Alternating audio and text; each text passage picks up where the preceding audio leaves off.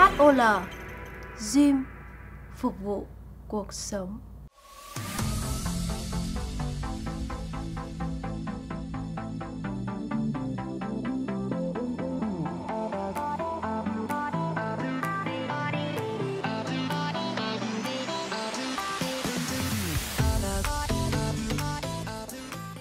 Sảnh là mặt tiền của một công trình.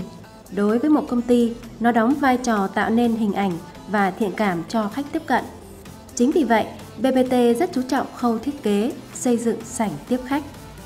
Theo bản thiết kế tầng trệt, Duy Nguyễn sẽ bố trí từ ngoài đi vào chính giữa là quầy lễ tân phục vụ khách hàng nhiệt tình.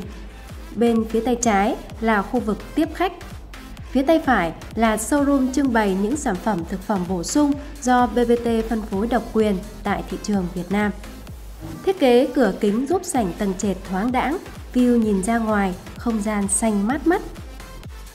Khi đến Gym Center Hiệp Phú quận 9 trong tương lai, bạn sẽ bị choáng ngợp ngay từ tầng hầm để xe cao 4 mét với sức chứa đáng nề và có thể cho xe tải với trọng lượng 1,25 tấn đi thẳng xuống tầng hầm để chở hàng nhanh chóng. Bước lên phần sảnh, không gian sang trọng, tinh tế sẽ làm bạn mãn nhãn. Nhân viên tại Gym Center sẽ đón chào khách với nụ cười nồng nhiệt đầy thiện cảm. Tại đây, khách hàng sẽ được lễ tân tư vấn với các gói tập luyện tại Gym Center. Đồng thời, khu vực showroom và tiếp khách, bạn sẽ được trải nghiệm các sản phẩm thực phẩm bổ sung, tìm hiểu và được nhân viên tư vấn chọn lựa.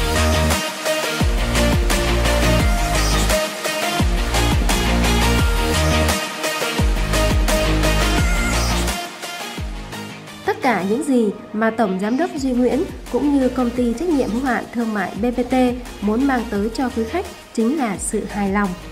Nhật ký dự án Building BBT ghi nhận ngày 19 tháng 7 vừa qua, Gym Center Hiệp Phú quận 9 tiến hành đổ bê tông sàn tầng trệt, quy mô chắc bền và đầy hứa hẹn với thiết kế đi trước đón đầu.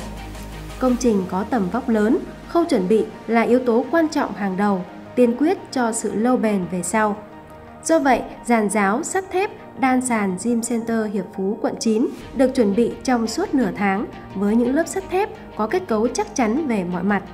Sàn đan hai lớp thép phi 12 kê cao 7 cm. Đà được đan bằng thép phi 25, mỗi cây thép nặng tới 45 kg, vô cùng chắc khỏe. Cột kết cấu bằng thép phi 22. Sài Gòn những năm gần đây thường xuyên đối diện với những trận mưa bão lớn, thất thường do ảnh hưởng của biến đổi khí hậu suy nghĩ đi trước thời đại thay vì xây dựng một dự án tầm thường với nền móng thấp như các công trình lân cận để tiết kiệm chi phí thì Tổng Giám đốc Duy Nguyễn cùng Ban Quản lý BBT quyết định đầu tư xây dựng hệ thống Gym Center có nền móng cao hơn hẳn những công trình xung quanh nhằm tránh những tình huống bì bõm trong nước bất tiện về sau.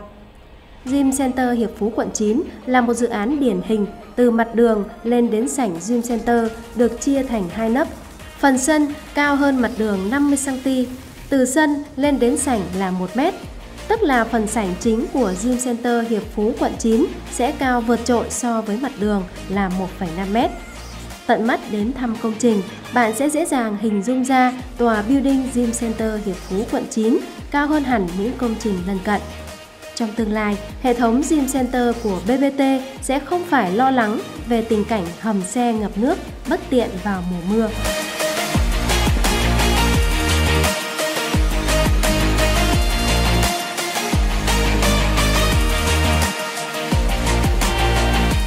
9 giờ sáng, đội thi công gấp rút chuẩn bị những thao tác cuối cùng, lắp ráp máy đổ bê tông ngang, kê sàn, hàn những thanh thép cột.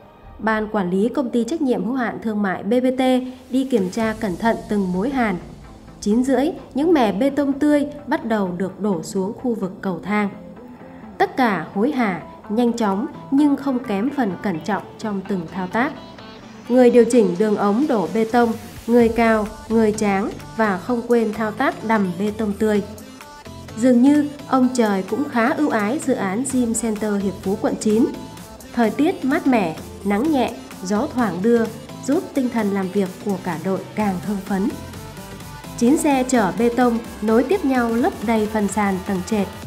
Đến 13 giờ chiều, mọi thao tác đã hoàn thiện, huy động gần 61 mét khối bê tông tươi con số đáng gờm để tạo nên bộ mặt đẹp cho Gym Center Hiệp Phú quận 9. Mọi thứ đang dần hiện lên, một dự án chất lượng từ khâu tính toán thiết kế cho tương lai. Xây dựng chắc chắn chính là Gym Center Hiệp Phú quận 9.